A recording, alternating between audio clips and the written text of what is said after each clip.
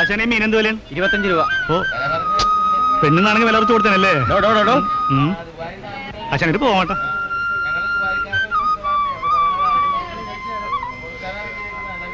ഇതാ. നാപ്പത് രൂപ. ഓ തന്റെ ഒടുക്കത്തെ വില. ഈ വിലനെ എങ്ങനെ മീൻ വാങ്ങിച്ചിനോടു അതിനൊക്കെ ആശ്രമം വന്ന് വാങ്ങിച്ചോളപ്പാ ഓ വരും വരും. ദുബായിക്കാരും വരും.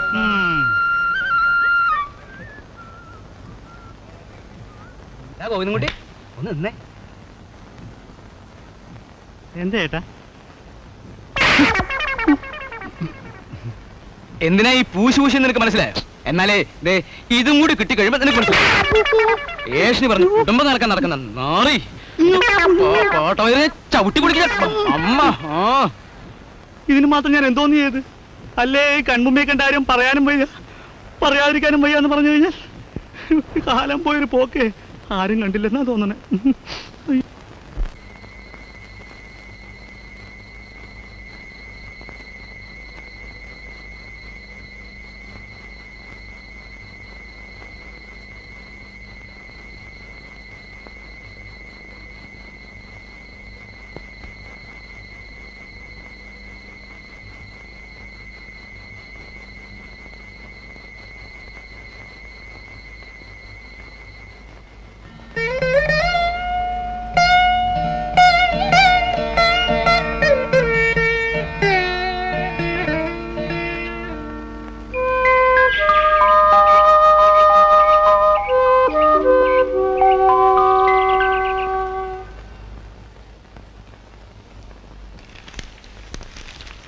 അങ്ങുന്നേ നിമ്മിക്കുഞ്ഞിനെ കാണുന്നില്ല. അവൾ പുറത്തെവിടെങ്കിലും കാണും. ഇല്ല അങ്ങുന്നേ എല്ലായിടത്തും നോക്കി ഒരിടത്തും ഇല്ല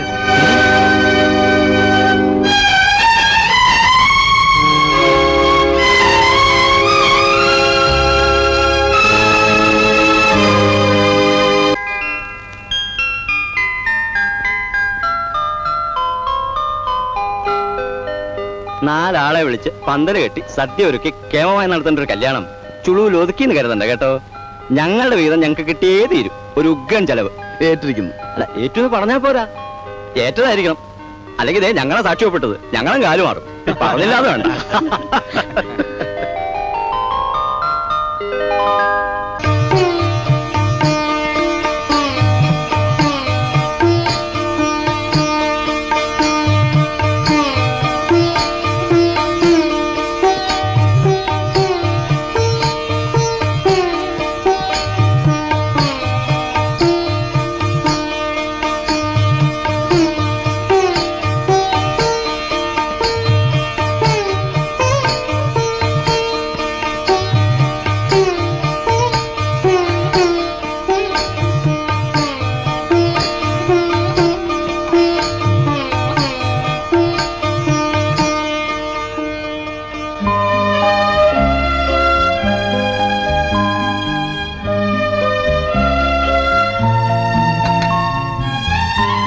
പാൽ കൊണ്ടുവരാൻ ഇവിടെ അമ്മായി അമ്മയോ നാത്തുമാരോ ആരുമില്ല.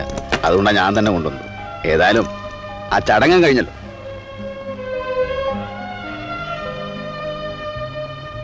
എന്താണ് മുഖത്തൊരു ലജ്ഞ? അല്ല നവവധൂന് ഒരു അല്പം ലജ്ജയൊക്കെ ഉള്ളത് നല്ലതാണ് നിമി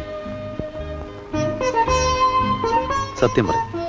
ഡാരിയെ ധിക്കരിച്ച് എന്റെ കൂടെ ഇറങ്ങി പോകുന്നതിൽ വിഷമം തോന്നുന്നുണ്ടോ?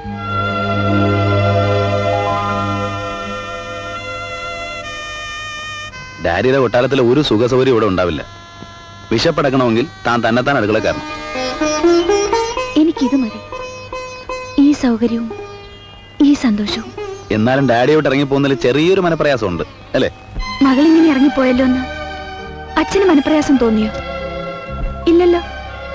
പിന്നെ ഞാൻ മാത്രമായിട്ട് എന്തിനാ പ്രയാസപ്പെടുന്നത്? ജോർ ചുണക്കുട്ടി എന്ന് പറഞ്ഞാൽ ഇതായതുപോലെ ഇതുപോലെ നിമി താൻ നോക്കിക്കോ. നമ്മുടെ ഈ കൊച്ചു വീട് നമ്മുടെ ഈ കൊച്ചു ലോകം തന്റെ തന്തപ്പടിക്ക് ഏഴ് ജന്മം തപസ്സിരുന്നാലും സങ്കല്പിക്കാൻ പറ്റാത്ത ഒരു കൊട്ടാരമാക്കി നമ്മൾ മാറ്റും? അല്ല കാര്യങ്ങൾ ഇത്രയൊക്കെ ആയ സ്ഥിതിക്ക് ഈ ലൈറ്റ് നമ്മളിങ്ങനെ ഇട്ടുകൊണ്ടിരിക്കുന്നത് അത്ര ശരിയല്ലല്ലോ. നമുക്കൊന്ന് ഓഫ് ചെയ്യളേ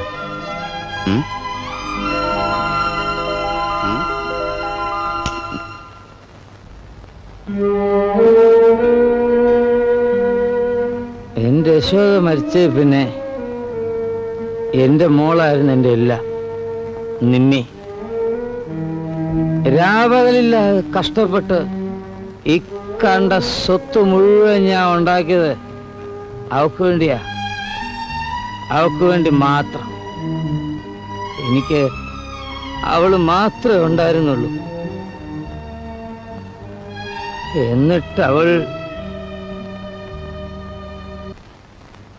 നിമേ. ഏയ്. എടാ ഭാര്യ. ദേ വരുന്നെന്ന് പറഞ്ഞില്ലേ? അപ്പോഴേക്കും തുടങ്ങി. വിളിയും ബഹളവും. താൻ അടുക്കള ഭരണം ഏറ്റെടുത്തിട്ടേ ഉള്ളൂ. പ്രൊബേഷണറി പീരീഡ് ആണ് അപ്പൊ കുറെ താമസമൊക്കെ ഉണ്ടാകും. സംഗതി ഒക്കെ ശരിയാണ്. പക്ഷേ ഓഫീസിലെത്താൻ ലേറ്റ് ആയാലും ഇതൊരു എക്സ്ക്യൂസ് ആവില്ല മാഡം. ഞാനതിന് ഒട്ടും താമസിച്ചില്ലല്ലോ.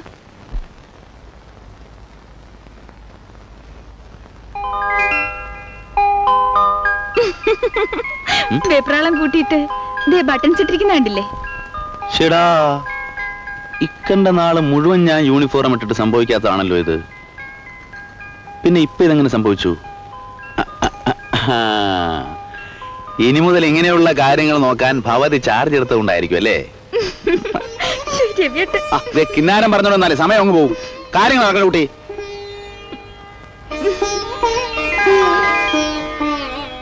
ബാക്കി സായങ്കാലം ഓക്കെ?